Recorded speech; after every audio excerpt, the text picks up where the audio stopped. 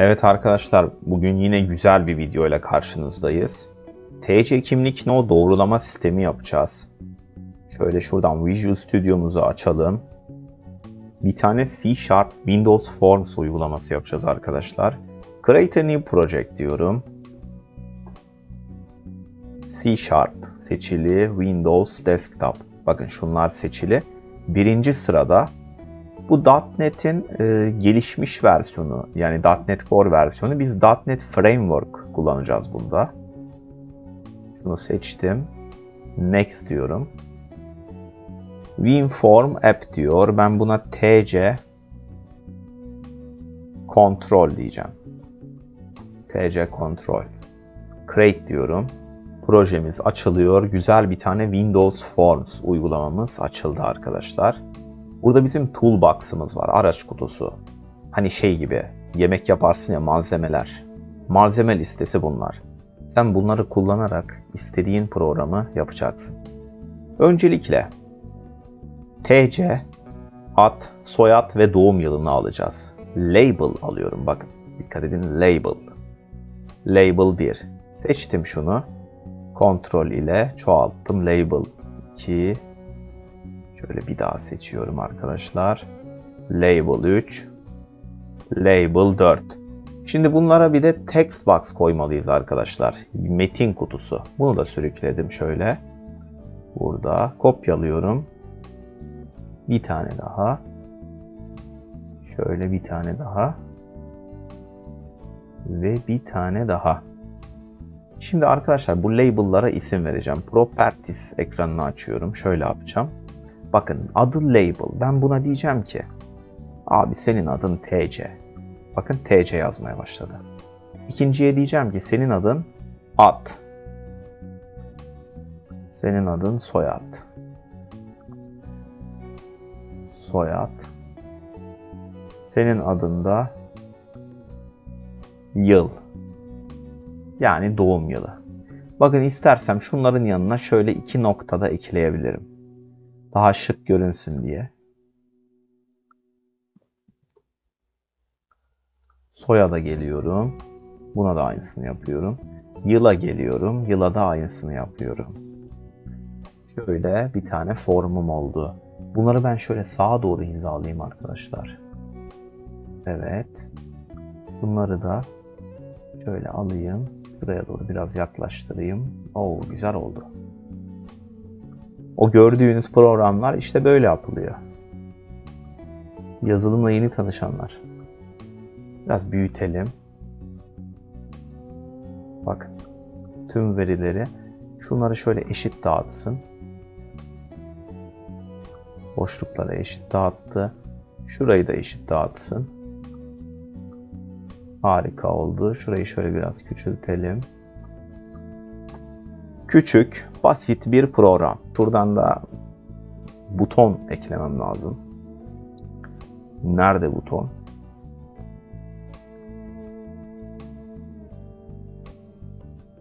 Butonu şöyle yapayım arkadaşlar. Butona da isim veriyorum. Kaydet. Kaydet dedim. Şimdi bakıyorsunuz buton biraz şey göründü. Fonta geliyorum arkadaşlar. Diyorum ki sen bunu bold yap. Yazıları biraz daha büyüt şöyle 9 yap. Kaydet butonunun rengini isterseniz arkadaşlar şöyle şuradan başka bir şey yapabiliriz.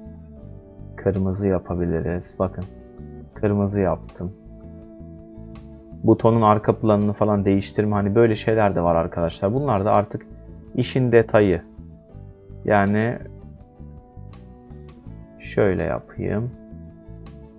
Kırmızı da bordo olsun. Kaydette yeşil renkte olsun.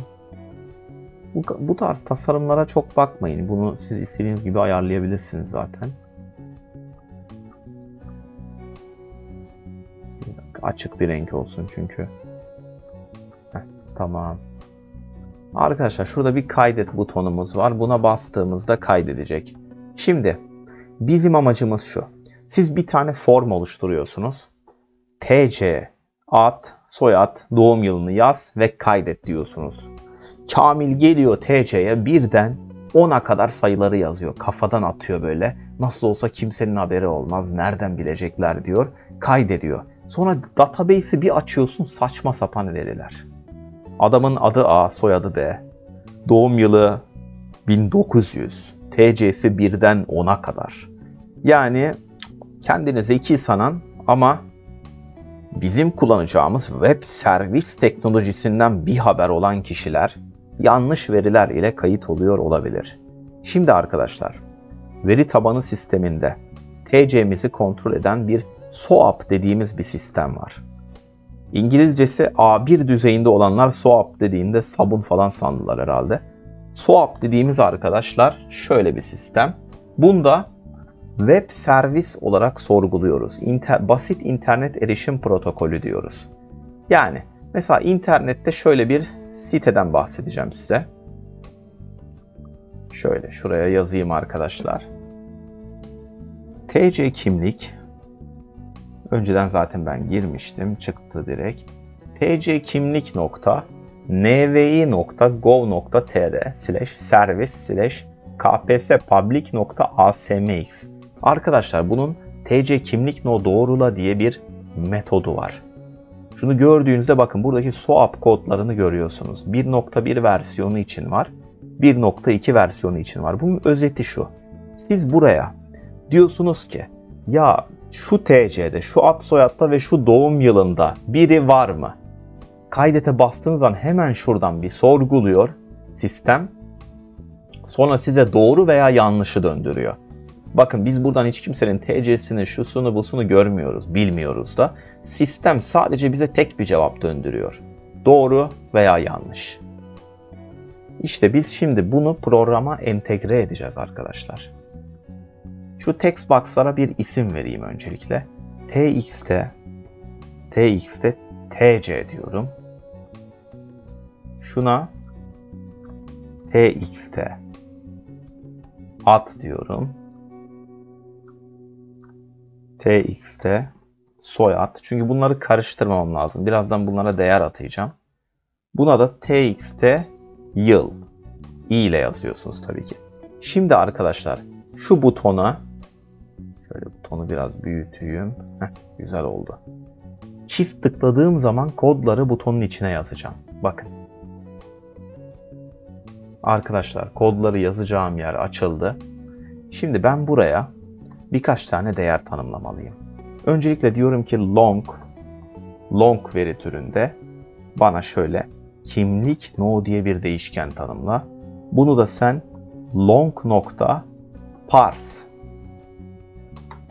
nereden alacak? Yani şu e, kutudan al. txt tc nokta text. Yani burada tamamen dediğim olan şu arkadaşlar. Şöyle yapayım tamamen şunu diyorum. Sen bu kullanıcının TC'sini yazacağı yere, şuraya TC'sini yazacak ya. Sen bu TC'yi al, bu TC'nin text elementini yani metin elementini al, kimlik no değişkenine at. Şimdi int int yıl diyorum arkadaşlar. O da int nokta parse. Bakın kendisi benim yerime hemen tamamlıyor. İşte buna IntelliSense deniyor. Visual Studio'nun yapay zekası. Senden benden zeki olmasın, bayağı zeki. Şimdi bir tane de bool. Bakın bool'un iki görevi var. Ya doğru ya yanlış. Bool'a sen oturup derdini anlatamazsın. O iki şey bilir. Bir veya sıfır. Doğru veya yanlış. Sıcak veya soğuk. Siyah veya beyaz. Şimdi bool'da bunu yaptık try diyorum arkadaşlar. Şimdi try catch yapısını kullanmamın sebebi şu. Sen şunu bir kere yanlış yazdığında hani eskiden görürdünüz programlar, iyi yazılmamış programlar hata verir böyle program kapanırdı. Abi adama bir şans vermiş.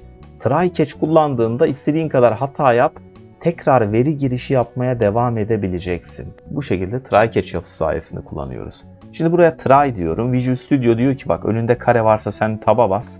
Ben sana yardımcı olacağım diyor. Evet yardımcı oldu. Bu iyiliği bize kimse yapmaz.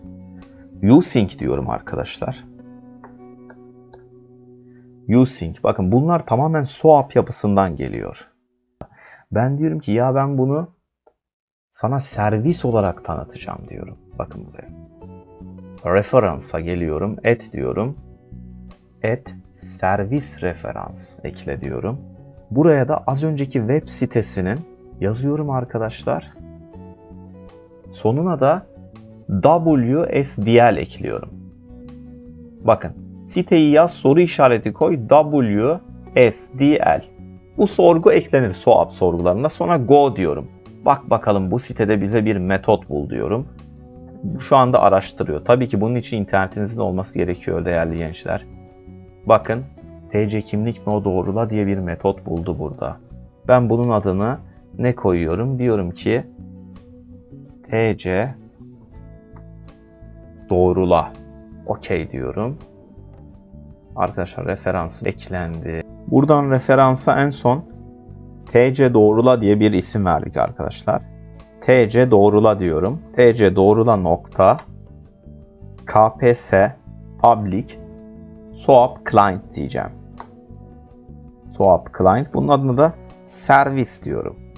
O da eşittir new diyorum. Bu arkadaşlar tamamen türetmedir. TC doğruladan yeni bir nesne türetmedir. Nokta KPS public SOAP client diyorum. Süslü parantezleri açıyorum arkadaşlar. Bu şekilde ilk kod satırımızı yazdık. Şimdi bunun içine şöyle bir durum yukarıda bakın durum diye bir değişken tanımlamıştık. Buna diyeceğiz ki bak sen şu servis var ya bu SOAP servisine git. TC kimlik no doğrula yöntemine gel. Bunun içinde yukarıdan aldığın kimlik no virgül txt at nokta text bakın bunun tekstini al. Daha sonra txt soyad nokta text virgül 4 parametre arkadaşlar. Bir de yıl diye bir değişken tanımladık. Bakın. Bir de yılı al. Yıl zaten rakam olduğu için text diye almasına gerek yok. Bunları al. Bunun sonucunu duruma ata. Ondan sonra catch'ten, catch'ten sonra bize şunu yap. De ki bir tane message box göster. Message box nokta show buradan bize sendeki durum nokta durum nokta to string yani bunu da şöyle sonuca ata. Arkadaşlar kodlarımız bitti. Ben şimdi şuraya bir çalıştıracağım ve bir örnek yapacağım. Hepsini kaydet diyorum. Design'a geldim. Start'a basıyorum. Küçük bir program yaptık ama bizi gerçekten büyük işlerden kurtarıyor. Kendi TC'mi yazacağım arkadaşlar.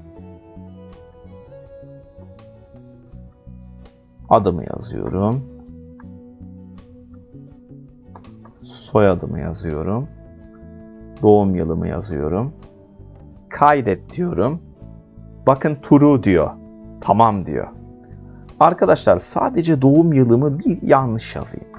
Şöyle 91 diyorum. Kaydet. Bakın false. Bütün bilgilerden sadece biri bile yanlış olsa size yanlış değer döndürüyor. Soyadımı sonunu C ile yazayım bakalım. Kaydet. Bakın false. Yani bu dört bilginin dördü de kimliğinizde yazılı şekliyle olmalı. Peki bunu nasıl kullanabiliriz? Şöyle durdurdum bunu. Bunun sayesinde size verilen, forma verilen bütün bilgiler doğru olacak arkadaşlar. Yanlış e, kayıt olmayacak. Şöyle yapabilirsiniz arkadaşlar. Message Box'ta şunu yapabilirim ben. Şuraya bir if else yapısı açarım. If derim. Eğer ki durum eşittir true'ysa durum doğru sonuçta true. Şunu yap. Message box'ı al şöyle. Message box. Şuraya de ki kayıt başarılı. Kayıt başarılı. Bunun haricinde bir şeyse şurayı artık temizliyorum. Else diyorum. Else diyorum. Yine şuradaki message box'ı alacağım. Şuraya yapıştırıyorum. Diyorum ki girilen veriler yanlış. Girilen veriler yanlış. Tekrar kontrol ediniz. Sonuna da şöyle bir ünlem. Şimdi arkadaşlar tekrar çalıştırıyorum. Artık sadece true veya false yazmayacak. Şöyle. Evet.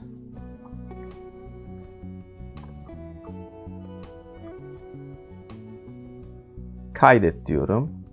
Kayıt başarılı diyor. Görüyor musunuz? Bakın veriler doğru diye direkt kayıt başarılı diyor. Şöyle yanlış yapacağım. Girilen veriler yanlış. Tekrar kontrol ediniz. Bakın bu tarz TC kimlik no doğrulama sistemlerin arkasında tamamen bu kodlar ve böyle bir sistem yatıyor. Bunu mutlaka her projenizde kullanmanız gerekiyor. Yani e, yoksa ne olur? Sahte kayıtlar almış olursunuz veri tabanına. Bu şekilde arkadaşlar bu tarz böyle e, işinize yarayacak faydalı programlar gelmeye devam edecek. Eğer beğendiyseniz beğenmeyi ve kanalıma abone olmayı unutmayın. Kendinize iyi bakın. Yazılım dünyasında herkese başarılar diliyorum.